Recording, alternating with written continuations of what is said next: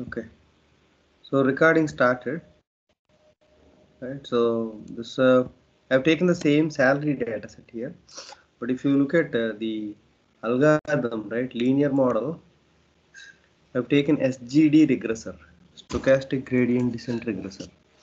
If I took linear regression as the class, right, that will be using normal equation as the solver. Here, SGD regressor is using stochastic gradient descent as the solver. The advantage of stochastic gradient descent is it can handle huge volumes of data. When data is small, no, we prefer linear regression only, linear regression algorithm, because it you know it finds it in a single shot and it finds the best value in you know one go in one go, right? But SGD regressor will actually learn. Know, it starts with some random equation or random theta, and then slowly learns. Two approaches. One, on a small data set works well, the linear regression, which is based out of normal equation. Two, stochastic gradient descent regression, which learns cumulatively, and it's going to be useful in, on a huge volume of data.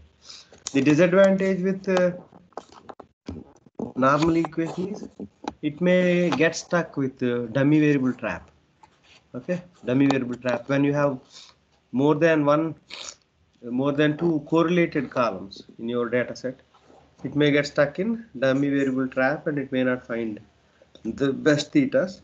That is one problem. If there are more than more columns than rows then also the model may not the normal equation may not work well.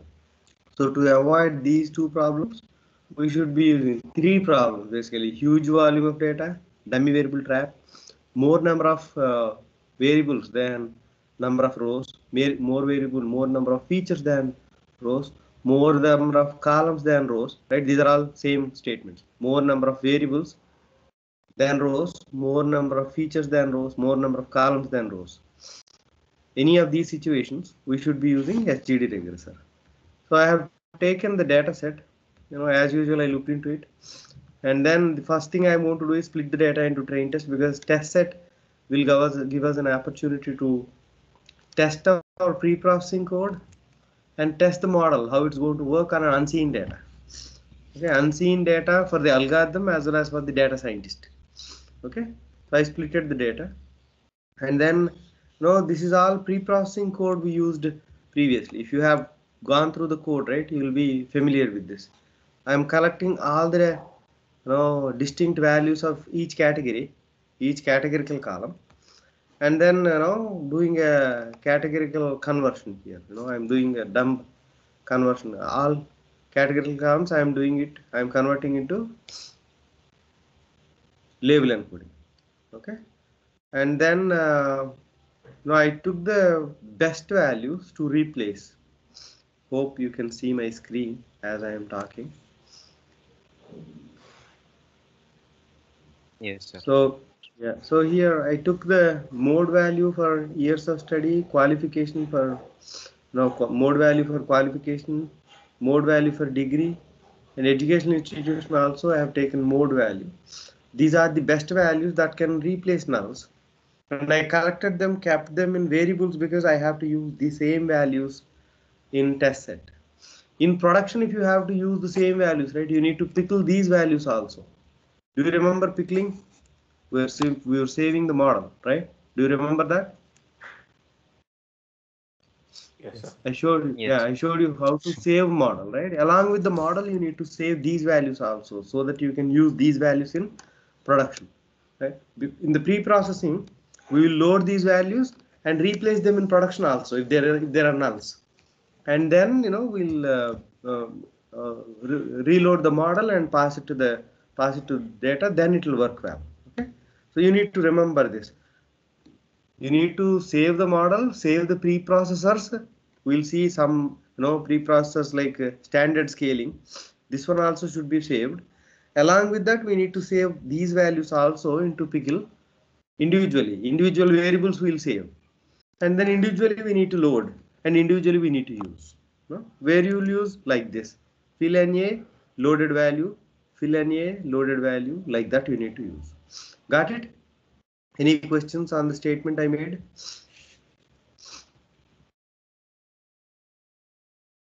Okay, good. So after you know talking about test also I'll talk about these points are very important. If we if we ignore these, the model looks well on the train set, but not well on the test set and production.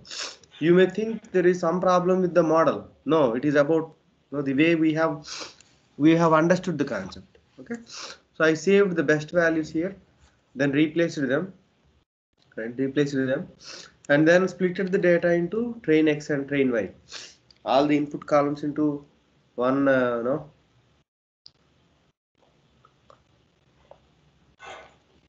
one numpy, right?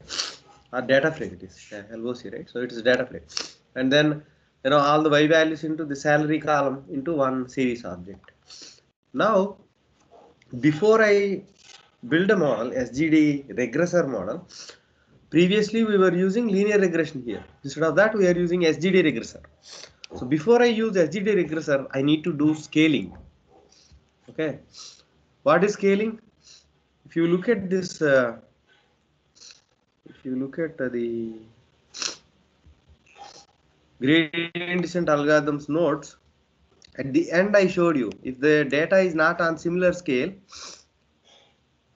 can you can you see this how to con converge faster screen? Yes, Now we no. can see. sir. Yes, now we can Yeah. see. So you know the when the data is not on similar scale, all features are not on similar scale.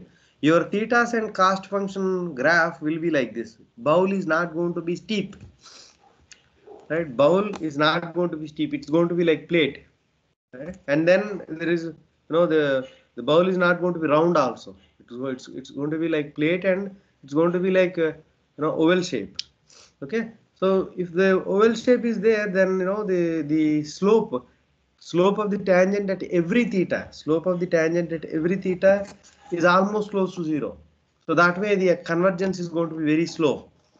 Sometimes you know maybe 100 in 100 iterations you may reach the global minima, but it may take uh, 10,000 iterations. So to reduce number of iterations and converge faster, we should do standard scaling or min-max scaling or divide by maximum. Got it? So that is that is what we are doing here. For SGD regressor, for this algorithm, you should definitely do the standard scaling or min-max scaling. So there are two ways of doing you know, scaling. I'm using standard scaling. You have seen what is min-max scaling in the PPT, right? So subtract minimum and divide by maximum minus minimum. So you know, in the advantage with min-max scaling is if you want to bring whole data to uh, data in the range, right? All columns. You know, first column in the range of minus 2 to plus 2. Second column also in the range of minus 2 to plus 2. Third column also minus 2 to. You can specify the range in min-max scaling. But in standard scaling, that that facility is not there. It may fall, you know, between minus 20 and plus 20, or minus 10 and plus 10, or minus 5 and plus 5. Sometimes it may be minus 5 and my plus 3 also. What is standard scaling? It is nothing but z-score calculation. For each value in a column, we are calculating z-score. If you have 10 columns, right? For all columns, we you know the standard scaler will find out the mean, we'll find out the standard deviation, and then subtract mean from each column x1 minus mu1 divided by sigma 1, x2 minus mu2 divided by sigma 2. Like that it will do, right? For 10 columns, 10 mu's, 10 sigmas it will find. In, from each column, it is going to subtract the mean and divide by standard deviation. That's what standard scaling is. Here I create an object and I said uh, fit transform on. I think I typed something. So, so I did fit transform on train X, right? When I when I did fit, what happens? When I did transform, what happens? Can somebody explain?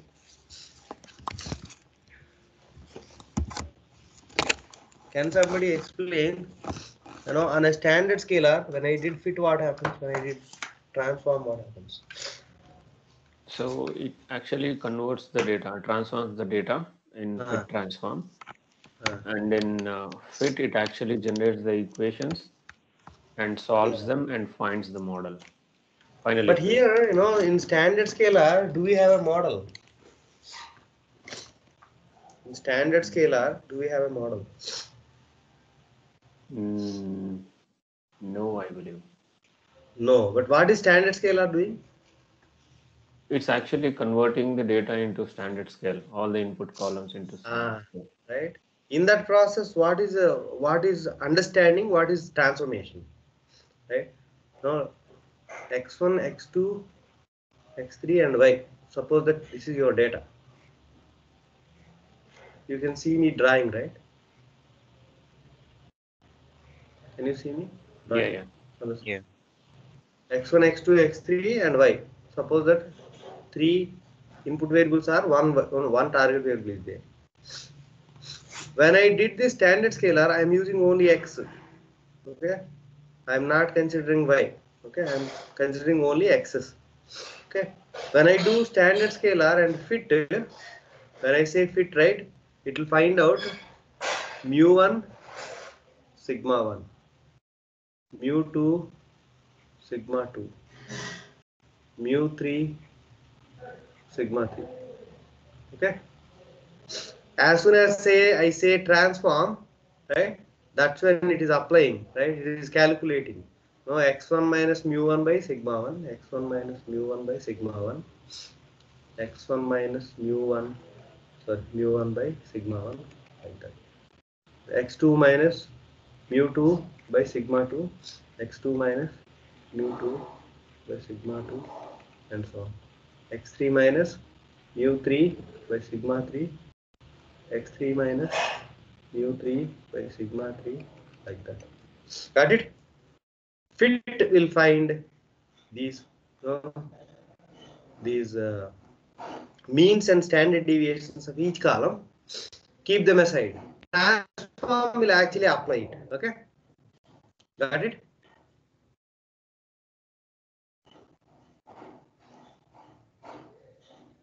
Got it? Any questions?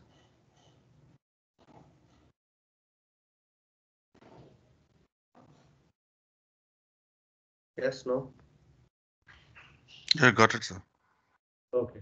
So why am I actually stopping here and explaining this is fit is understanding. That's what you need to understand. If it is a if it is an algorithm, the understanding is going to be coefficients, finding coefficients. If it is a standard scaler, finding mean and you know standard deviation. If it is min-max scaler, right? What is understanding? What is min-max scaler formula?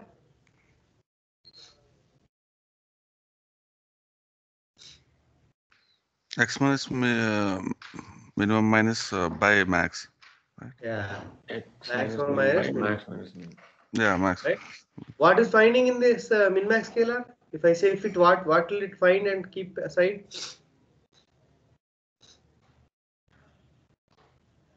Minimum and maximum, right? For each column, it will find minimums and maximums. When I say transform, it will apply this formula. That's it. Got it? Yes. No. So, c- come again sir So in, in standard scaler, the understanding is going to be mean and standard deviation. Okay. In min-max scaler, the understanding is going to be minimum and maximum of each column. yeah th- th- this happens when fit transform is executed So when you when you say fit transform, there are two methods. okay There are two functions. One fit and one transform. Right. Fit will find out the necessary values to transform the data. yes yes Right? This point is very important. You know, I, I'm, I'm I'm actually stressing it because if you have to build custom transformers, what code to put in fit, what code to put in transform, you should know. In custom transformers, you write, you know, individual fit method, individual transform method. But while while calling, right, you can call the custom transformer dot fit transform. Internally, the super the super class, you know, transform mixin class will have fit transform method, which will actually call one after the other. Got it? Got it, right? Can I move on? Yep. Yeah, good. Okay. So now, you know, we are applying this, uh, we are, we have taken the class SGD regressor and I have taken random state. Anybody remembers what is random state? Or, or uh, random seed? Yes, sir. Yeah. So, yeah, please. Go ahead. Yeah, maintain the same index, right? Ah, Uh, yeah. ah, maintain the same index. Or any random values generated internally, the same random value will be generated. First time, whatever random value generated, the same random value will be generated. So random state. And then we are fitting the SGD, now the standardized X values and Y. If the data is not standardized, you will get into this problem. Right? Non, you know, bowl not not not being steep problem and uh, the algorithm will not converge fast no i would recommend you to comment out this code right this uh, standard scaling code and try to take uh, the original trainx and build the model and see what happens okay? So i fitted the model. I predicted values on train right? Standard standardized train. And now i cal i'm calculating mean squared error and uh, no r square score. I've got 62% accuracy okay? So this is uh, this is uh, no linear reg- no, linear regression no multiple linear regression. There are no uh, polynomial regression things applied here. Okay? So now we have to see whether model can be improved or not. Okay? So i have got 62% accuracy. That means if you understood the gradient descent algorithm properly, can you see convergence and divergence diagram? Yes. Yes. Right? In this convergence divergence diagram, right, it would have reached somewhere here. Theta would have reached somewhere here. Is my statement right?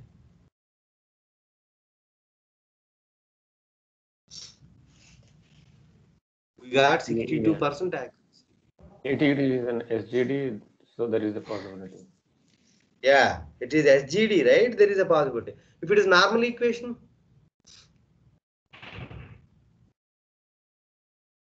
are we sure that uh, that's the best value we can get? If it is a normal equation and you got 62% accuracy, are you sure that that is the best value you can get? And is there anything that we can do with the algorithm? or you know do you think algorithm did not perform well or somewhere you know stopped in bet- in between something like that in normal equation do we have that kind of a concept No. no right? It's a it's a damn sure you know single shot thing. It is a it's a solving equations approach it is. There is nothing cumulative learning. Here we are learning cumulatively so there is a chance that the algorithm would have stopped somewhere here. Maybe because iterations were not sufficient right? Or maybe the bowl is very very slant like that and you know maybe somewhere here right we have got the almost zero slope and it is not converging right? These two problems may be there right? So algorithm is not performing well. That means we can we can we may have to um you know, if, if this is the case right? If this is the case what we should do? To make the model converge uh, to the global minima. If this is the case right? It stopped somewhere in between or you know reached only halfway through and stopped in between to next time when you execute to to make it reach to the global minima what we should do? What We are all play with uh, ah, lear- uh, Learning rate learning rate, learning rate. Should we increase learning rate or decrease uh, learning rate? Decrease. why why decrease? You are on right path. You are on right path but why decrease? Why not increase steps will be Step uh, size. smaller. uh, No, you know, I think you, we should increase, right? Step size is small. That's where it actually made, you know, till here only. If the step size is a little bigger, right, it would have jumped, jumped, jumped, and came came down here, right? Maybe because it got stuck with the smaller step size. If we Ah. if we make it bigger, it will Yes. it'll, it'll come out of that uh, the stuck stuck point. Ah, come out of stuck point is different actually. Yeah, come out of stuck maybe that's also a pro- a, a, a, pro- a, a problem. Uh, good, that's a good point. That's a good point. So because we are using stochastic gradient descent, no, the parabola, the curve is not going to be, the curve is not going to be. Give me one second. The curve is not going to be uh, neat like this, right? It's going to be like that, right? So it, it would have stuck somewhere here and it is actually jumping around and number of iterations may not have been sufficient. So it would, it, it like, so in that case, right, increase the number of iterations. Here also, you can do two things. Increase the number of iterations so that it will reach till the global minima or increase the step size, the learning rate. That is good. You know, you guys are grasping well, right? So that's the thing where that is called as hyperparameter tuning. Okay. So here I did that. So on the in this you know SGD regressor there are many hyperparameters. We'll understand all of them. Okay, the loss function, the penalty, alpha, right? All these things we'll understand. Right here, eta eta zero is the hyperparameter we need to play with, right? So eta zero, I actually made a little. I, I actually played with it, and then I have got. Uh, I'll I'll actually play with it right now, right? I've got something here. Okay, so so default value is 0.01 for eta 0.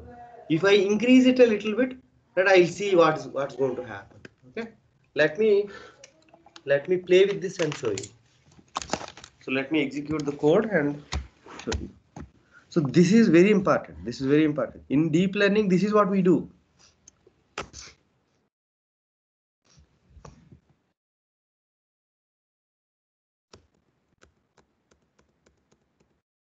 So these are all steps you know, so I'm just executing them.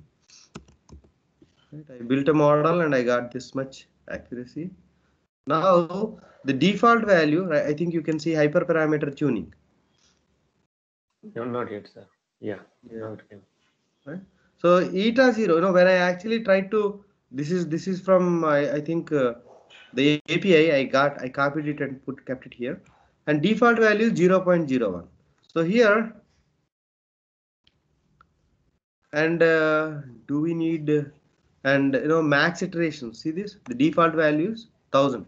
Do we need thousand? That's what you know here when I actually called the SGD regressor without passing any hyperparameters, it is using default values. So I am actually trying to take my own values here and execute. Okay, let me increase the the eta zero. Right? I made it 0.01, sorry, 0.1, right? Because I thought the model is not performing well and it, it did not reach the global minima. It actually reached global minima. Even on the even on the linear regression, we got this much accuracy, I think. I, I forgot, but you know.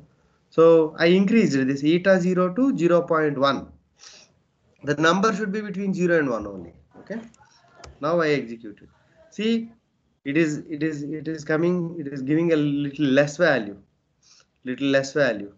Right? With the let me try to increase the number of iterations here. Even then it is giving less value.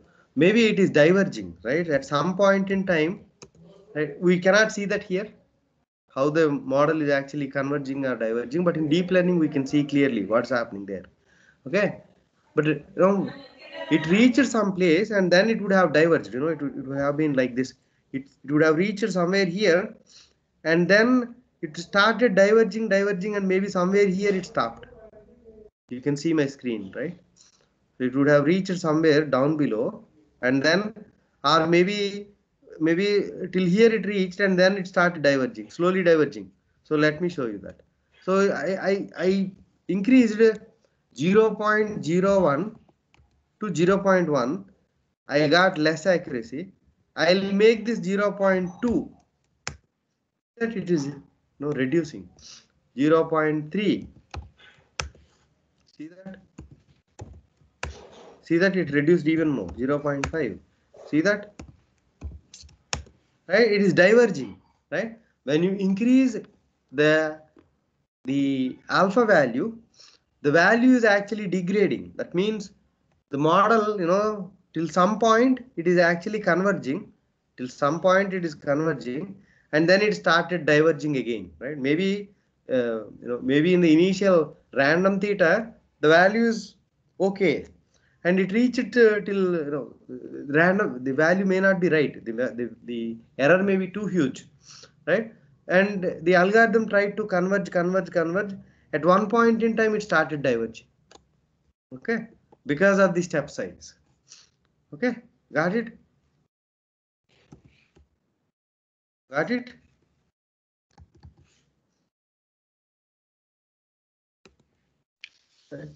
So let me let me decrease this value 0.001. See that max number of iterations reached before convergence. Okay, so it is throwing error warning saying that max. So this uh, this value is not calculated now. It is actually kept the old value and then it is trying to show. Right? See this. See this R square score. We got negative. I said we are going to get negative values also R square score, right? So when your step size is too small, it did not uh, even reach the place, you know. Let me show you this. See, it improved a little bit. Improved even more. But we are getting, still we are getting this, uh, you know, max iterations uh, reached. So before convergence. So the slope of the tangent is still still there or the error the, the difference between the previous error and current error is more than tolerance. Where is tolerance here. This tolerance. Okay.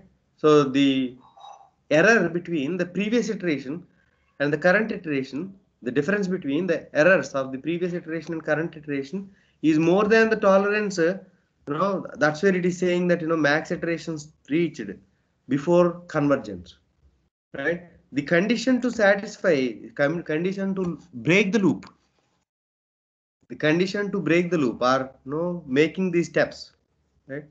What is the gradient descent algorithm doing? It is actually moving step step step step like that right? So to stop these steps you know even after reaching here even though the slope is kind of close to zero it is still making steps. Because the previous error and current error's difference is greater than the tolerance this value. Okay so even though you see right if you if i put like maybe 7 even though you see 62.62 it is saying that no maximum iterations reached before convergence because this tolerance condition is not being satisfied got it got it Oh, what is the tolerance condition here, sir? We, I'm not able to see that. That is the early, early stopping. Yesterday I said early stopping means you are, you know, at, at this point, you know, at every at every stage, at every stage you will have theta, right? At every at every step you will have theta, right? Do you agree? Right? Yes. For for current data, you have an equation. You substituted your values and calculated error.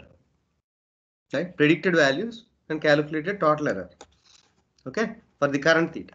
Okay, and next theta also you substituted values, predicted values, and then uh, calculated error. The the previous error and the current error, or the current error and the next error. I should have said previous and current. Right? Current error and the next error. The difference is called as you know. Uh, the difference we'll take the algorithm will take the difference and if the difference is is greater than a value called as tolerance suppose that you got you know 60 error in the previous iteration and the current iteration also you got 60 difference is zero okay Yeah. that means model is not improving anymore do you agree with the statement previous iteration you got 60 error current iteration also you got 60 error you looked at the difference between the previous error and current error it is zero Yeah. that means model is not improving anymore the theta is not moving anymore do you agree huh? Yes. yes. previous error is 50 and current error is um, you know 45 there is difference five difference is there right? We wanted to see the difference is minimal because you know at this bottom right bottom of the pit almost all places you will get you know kind of minute difference error. Bottom of the pit the slope is going to be very small. The alpha is going to be the the eta 0 is going to be very small when you multiply it's going to be very small. You are subtracting subtracting it from theta right? So here the values are going to be almost similar. But how much difference uh, how much tolerance we will see is the number. 0.001 is the tolerance. If the difference is greater than this number still continue doing steps.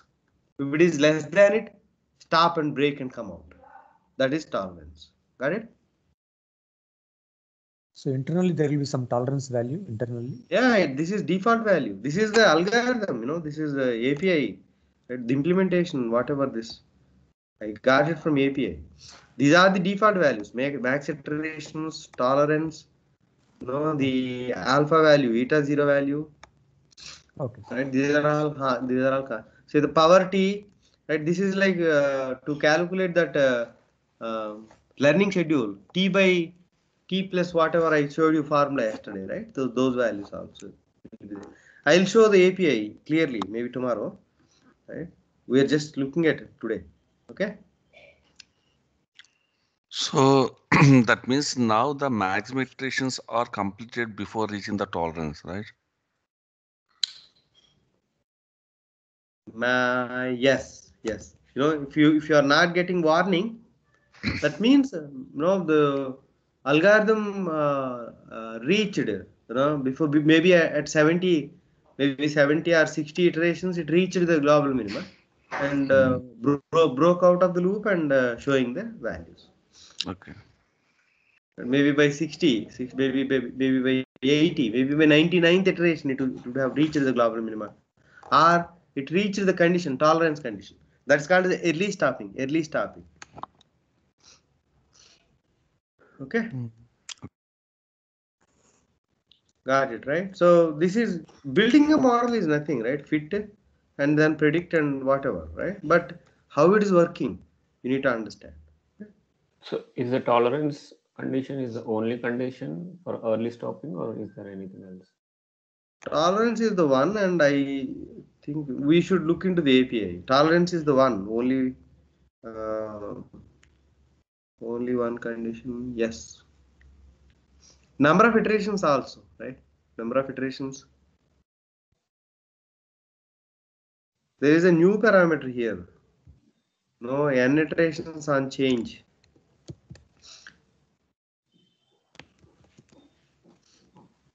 if you look at API, right, you will find it. You know, these guys will add new things in there. Every three months, there will be new thing. Number of iterations with no improvement. Yeah, to wait before early stopping. See this? So how many iterations you want to see that the difference is not changing? Got it? 0.001. Are, do, do, would you like to look at the previous and current only or for five iterations you want to know consecutive five iterations every you know previous and current previous and current is not changing default is five then it will break out. You can change it. Maybe 10 iterations 20 iterations you can look at. Got it? Yeah. the same concept is there in deep learning also. Same concept is there. Okay. So we built the model. Now we need to test it on test set. Same thing. We apply all the transformations. We know we do uh, that uh, standard scaler transformation. Only transform we are doing. See this? No fit. If i do fit again right on the small set it will find the mean and standard deviation. They are not going to be general right? Generalized. Okay? So train set uh, mean and standard deviations are generalized. So when you do transform right the values saved there, the means and standard deviations of each column saved there will be applied here. For that reason, you need to save this standard scaler also into a pickle file and then use it in the production. Okay. So now you predict, you calculate. So I have got 66% accuracy. Now I am doing a polynomial regression. Okay. So the polynomial regression, again pipeline. You remember this pipeline concept, grid search CV and all that, right? So I'll go into this, you know, once after I finish the uh, difference between the, what you call it as uh, Durga's question, right? Uh, the uh, normal equation and uh, gradient descent. So let me take a white sheet, whiteboard. So you will get clarity, okay? I, I'm not jumping, no, I, I'm not jumping guns here. I gave you a brief introduction, right? Play with the code, and uh, I'll give you one more file which I actually, you know, wrote everything I wrote, and uh, look at the code and try to play with it. If you get time, you practice on a data set, come back with questions tomorrow. That way it will solidify well and you'll remember well and you know you can do something with this. Okay. So if you don't practice, right, how much ever I, I talk, it's going to be empty talk only. You will not get anything into mind. You will think that you you got everything. It, it seems like you got everything, but when you have to do something, right, you'll not be able to do it. Only problem is that practice. You need to do practice. Okay. So let me. I'll start for questions. Okay. I'm taking two sections. Okay. One for normal equation, another for gradient descent.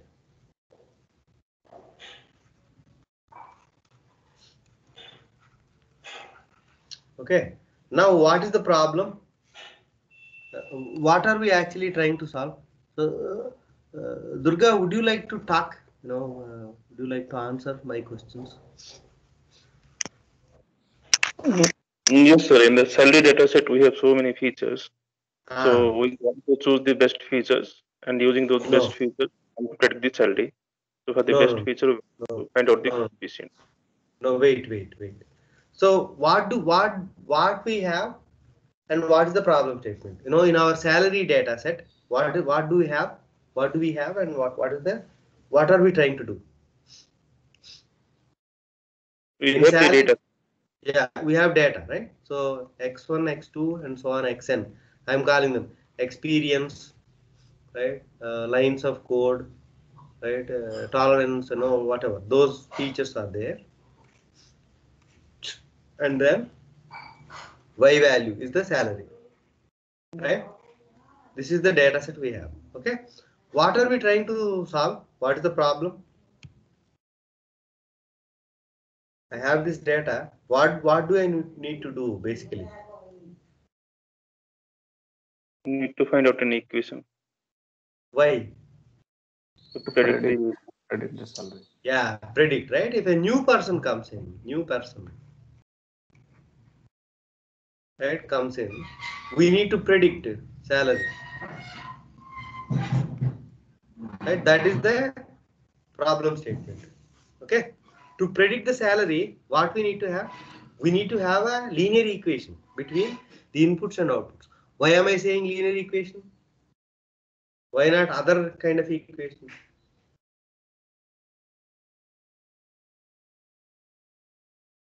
because the algorithm is linear regression. Okay, linear regression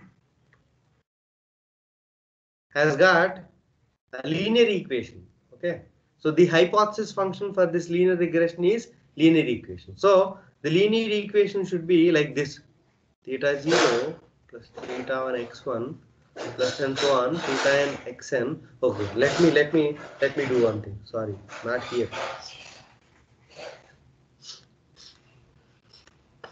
So the linear regression's hypothesis function is theta 0 plus theta on x1 plus and so on theta and xn is equal to y cap. Okay, the predicted value. So here our goal, you know, in this normal equation or gradient descent, our goal is to find out these coefficients. You know, not the best features. I take all the all the features here, x1 to xn, and then find out the coefficients. Suppose you know, so so you know the the the equation is like this, you know, 10 plus 20 x1 plus 30 x2 plus and so on. Maybe you know maybe 5xn is equal to y cap. Okay, so we found these coefficients. Thetas are what we want to find. Okay, there are two approaches. In this approach, right, what we will do is we will form equations. Know, if I if I have know, five, seven, nine, ten, and maybe you know ten thousand, eight thousand, eight, six, four, seven, maybe you know five thousand, like that. You know, maybe nine, eight, nine, three, two, maybe eight thousand. So like that data is there.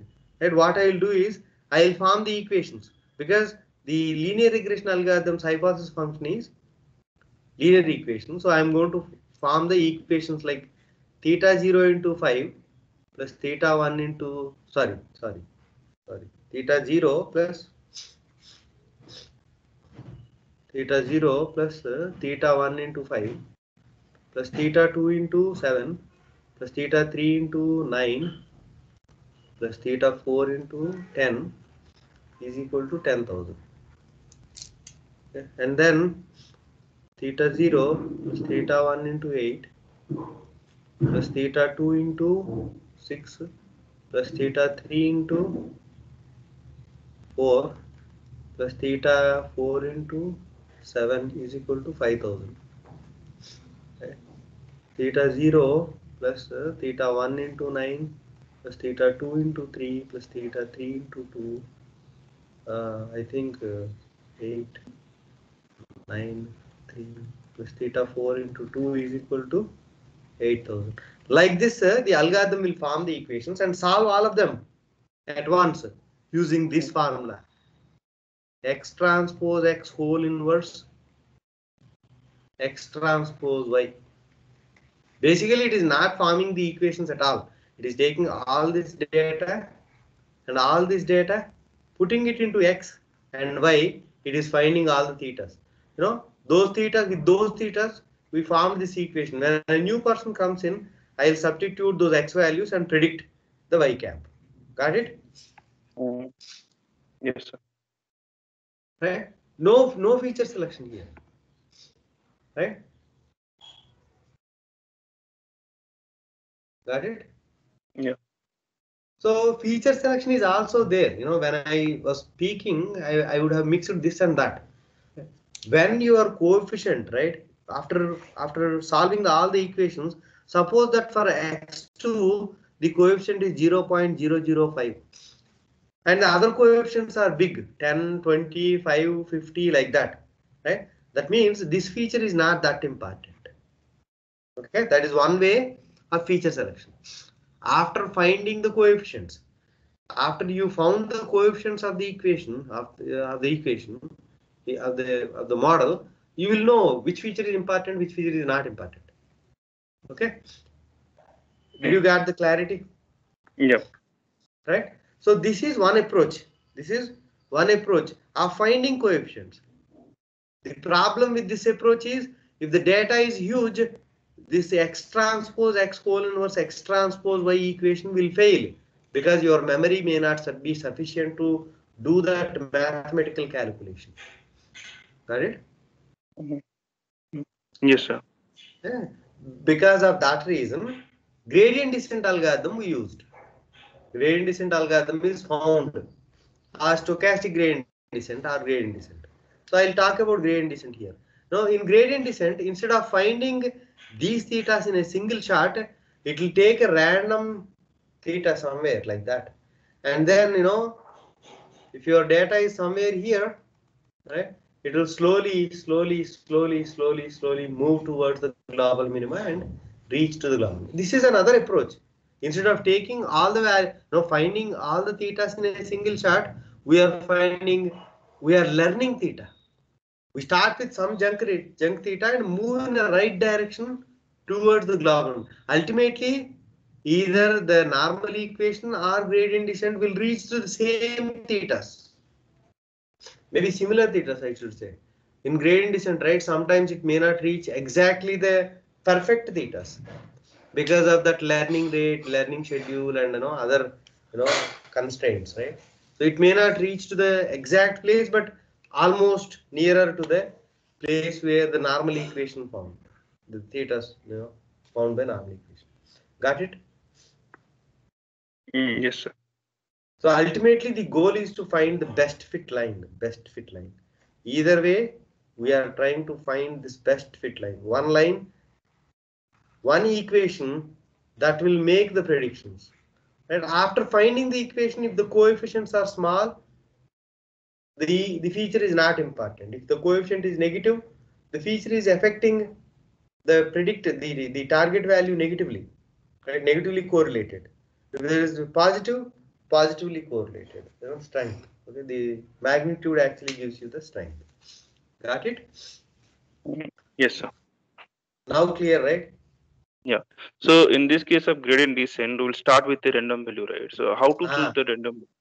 No, random means random, right? There is no two choice. I mean, it, can be, it can be too far from the existing data. Yes, Data. even if it is too far, it will converge faster. You know, I explained that yesterday, right? So theta is here, j of theta is here. If you chose, you know, some theta somewhere here, right? The slope of the tangent is going to be high here, right? The slope of the tangent is going to be high. The formula I have to calculate next theta is theta is equal to theta minus alpha into slope, right? The slope is big, so from here it will jump. It will jump you know. Jump is going to be high. You see if you see the diagram there see this? First jump is high next jump is a little low little low little low. But even if you choose a number which is very far in three four jumps it will come down. And then from there it will move slow. Got it Got it. so i think you know i'll stop it here. And tomorrow we'll actually look into the pipeline and all that stuff right? This this pipeline thing is a bit confusing thing right? So you know i already uploaded i think this uh, GD regressor eda file. Right? You guys actually go through it because i have some work to handle here. I'm taking only 40 minutes class today. So you go through this file i have done eda and everything on the same file and then applied SGD regressor. Okay. And uh, I got some improvement there. So please have a look at this and then come back with questions tomorrow. Uh, Sir, one question. Uh, So in the SGD regression, the, because we have multiple thetas, uh, random value will be selected for each of those theta. Yeah, yeah. And then yeah. uh, all, all of them will be happening simultaneously. Yes, yes, sir. Your point is correct. See, I am saying a line is selected. If it is, oh my goodness, oh my goodness.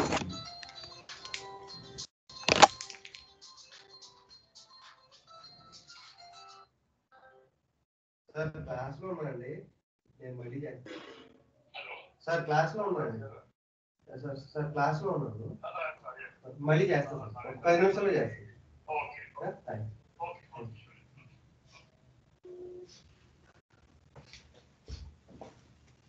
Oh, sorry. See, I am on the ph- phone, phone internet, right? You know, it gets disconnected, so that's what I my worry was. Okay, so I am saying we are going to draw a line, right? Which is nothing but random theta, right? If it is two variables, right, it's going to be plane because you will have one more. It is two variables, right? So this is theta zero, theta one, and this is theta 2 right so it is going to be plane then no random plane it's going to be drawing so what your understanding is correct if you have 100 thetas 100 thetas will be randomly chosen Yeah, my point is uh, randomly is uh, 100 thetas will be randomly chosen and uh, all the next 100 will be uh, identified uh, simultaneously, not one after. another. yes That's yes sir. yes Yeah. yes Okay, clear. sir. so that was there in this uh, slide it may take some time but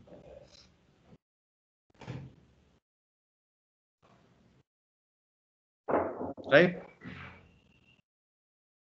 right any other questions No, Sir, it's, yeah, a question is based on the terminology like We, we are using alpha or eta for the learning rate. Eta only, you know, Andrew Ng used alpha, I used alpha, I would have, you know, converted to eta. But, you know, there is confusion there. You know, there is another variable called as learning rate. Sorry, Mhm. learning schedule. Uh, sorry, no, no, no, shrinkage parameter. You know, tomorrow or uh, Monday we'll see that. Right, uh, shrinkage parameter. Tomorrow or Friday we'll see. You know, regularization. That is called as alpha in the algorithm. In the scikit-learn, it uses alpha terminology. But that's fine. I think you got it right. So, Yeah, the, the definition you have shown uh, has both values. So, so which one is which one to use is the confusion there. so in the API, you see alpha also. That's what your confusion, right? Yeah, yeah, yeah. Both are there, right? Alpha. Yeah, that alpha I'll explain later. Eta zero is the learning rate. Okay. Okay. And you know, um, we have got other parameters also. I'll explain them slowly, one after the other. I'll try to induce. If I try to dump everything in a single day, right, you will get confused. So this alpha, I'll talk about it later. So in theory, whatever we discuss as alpha terminology is nothing but eta. Eta zero. Eta zero. Yeah.